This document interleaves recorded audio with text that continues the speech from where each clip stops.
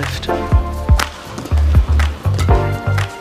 fantastic touch he has on that defence. With his, That is extraordinary defence from Victor Axelsen Singh.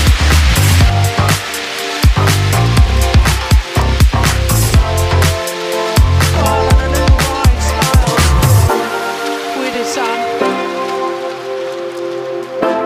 saying to himself, "What on earth do I have to do to win a rally?"